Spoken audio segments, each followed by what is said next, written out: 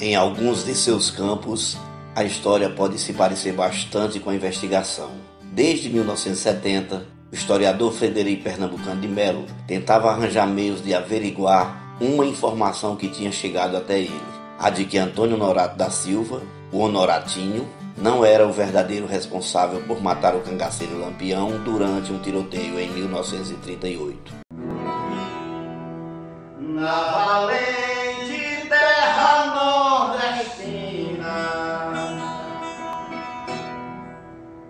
O autor do disparo fatal, segundo testemunhas, teria sido um outro guarda-costas do aspirante Francisco Ferreira da Silva que teria ficado oculto. Então, a partir de 1978, Frederico começou a tentar entrevistar um companheiro dele, Sebastião Vieira Sandes, o Santo, que se recusava a falar sobre o assunto. Quando visitava Lagoas, o historiador deixava sempre um recado, com esperança de uma resposta. O máximo que recebeu através de um parente de Sandes foi uma recusa educada e uma garantia de que, se um dia o ex-soldado aceitasse falar sobre o assunto, o procuraria.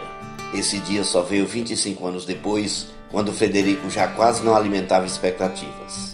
A paciência, ainda mais na história, é muitas vezes compensadora, e a conversa com Sanders gerou uma das principais revelações no livro do autor Apagando o Lampião, Vida e Morte do Rei do Cangaço. Uma das principais autoridades no cangaço no Brasil, Frederico é autor de títulos como Guerreiros do Sol e A Estética do Cangaço. Em Apagando o Lampião, o foco é na morte do principal líder do banditismo no Nordeste, que, na prática, começou a decretar o fim definitivo do cangaço na região. Mais do que analisar e narrar o assassinato de Virgulino Ferreira da Silva, o historiador traz novas hipóteses e dados defendendo que foi outro, o autor do disparo fatal, que vitimou o companheiro de Maria Bonita. Quando ele recebeu uma ligação de São Paulo em 2003, com um homem de voz grossa dizendo que se chamava Sebastião Vieira Sandes, Frederico tinha certeza de que se tratava de um trote feito por um amigo que conhecia a sua busca. Não era. Ele dizia que tinha um aneurisma inoperável, que ia para Alagoas se despedir de parte de sua família e que estava finalmente disposto para falar. Fui encontrá-lo e gravei com ele de 8 a 12 de dezembro. Na conversa, Sandes confirmou que, quando tinha 22 anos, foi o responsável por desferir o tiro que matou Lampião. Não assumiu a responsabilidade por ordem de seu superior, que sabia dos amigos poderosos do cangaceiro e do risco de vinganças, e não queria um rapaz novo na mira de assassinos.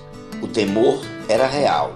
Honoratinho, que assumiu o feito e chegou a dar entrevista anos depois sobre o assunto, terminou assassinado em 1968 quando saía de casa. Se a conversa de Sanders aconteceu em 2003, por que o livro só foi publicado depois? Frederico diz: Sou um historiador muito cauteloso.